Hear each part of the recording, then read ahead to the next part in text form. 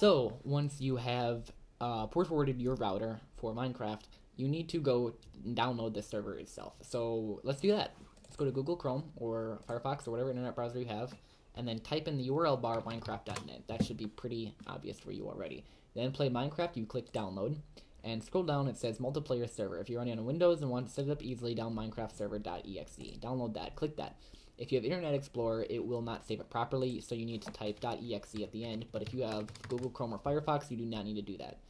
Save it to your desktop, uh, or anywhere, any location you want to save it. We're going to create a new folder for it after it saves. Uh, I don't know where I put it. Where is it?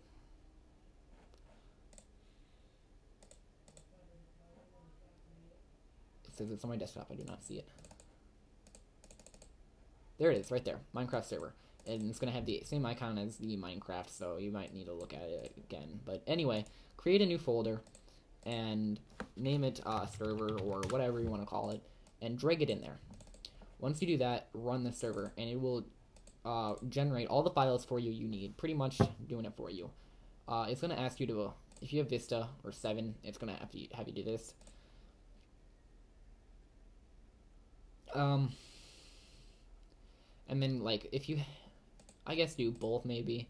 Um, yeah, do both, because you might not have um, the best, and I, I, I don't know, just, yeah, whatever. Anyway, once it's generated, we need to see if you can log in.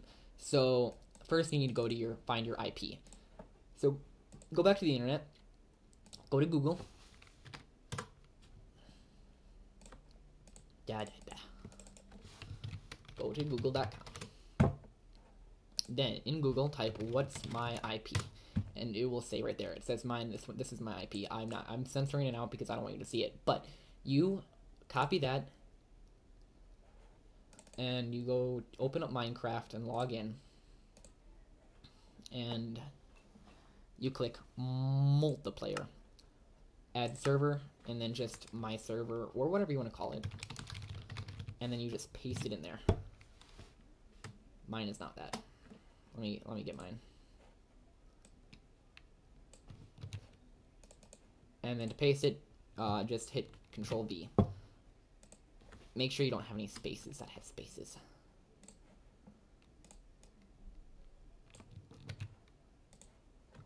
Because you have spaces, it might not work. And then, um, see if you can log in. And lo and behold, I am logged in. I port forwarded correctly, and people can join my server now. So that is pretty much how you do it. It's very simple, very basic. I am going to show you, um, some property files you can mess around with. So let me just, I'm going to stop the server right now. Just type, to do that, just type stop. And it will say connection loss, blah, blah, blah, blah, blah. You open, you go back to your server folder and see how it says world, banned IPs, players, apps, server, etc., etc. Uh, you look for the properties file where it says in the type, and then right click it and click open with, and then uh, click notepad and will allow you to open up all properties files with Notepad now. And you can edit the properties here, allow nether true or false. If you have it set false, people can still build nether portals and have the portal activated, but they cannot go through it. It will just, keep, they'll stay where they are. Level name, world, you can change that to whatever you want. Allow flight false. Um, this will not conflict with creative. So if you're on creative, you can fly, but if you have a flight mod and you're on survival, it will kick you from the game. Um, enable query, I don't know what that is. Uh, enable query, sorry, whatever, whatever. Server port 25565, keep that the same unless you've changed it, but that I you shouldn't have changed it because that's harder to do. Enable RCON, I don't know what that is. Level seed, you can change the seed when it generates. Uh, for you to do that, you'd have to delete the world and then put the seed in, and then restart the server. Um, server IP, don't mess with that. You don't want to. It, trust me, it's a waste of time. You'll just screw everything up. Whitelist, false or true, depending on whether you want people to not be able to join. But if you don't give your IP out to everyone, then it won't matter. Spawn animals, true. Online mode, true. This uh, this is really it doesn't this part does not matter it makes it less secure if it's on false but people with hacked clients can come into your server um, so if you don't have a legit minecraft you can connect with this if it's set to false pvp true difficulty one uh, i'm guessing the higher it is the harder it is game mode zero that means when you first log in you'll be on survival if you set it to one you'll be on creative There is a command to switch it back and forth, but it's more complex because you have to type a lot. Max player is 20, spawn monsters true, view distance 10, message of the day, Minecraft server. I can change this to whatever I want. I'm going to change it to hi everyone. And I'm going to save it. File, save, close, and uh, let's load up the server and see if it works. Ba ba ba ba, loading, loading, loading, loading, loading, loading.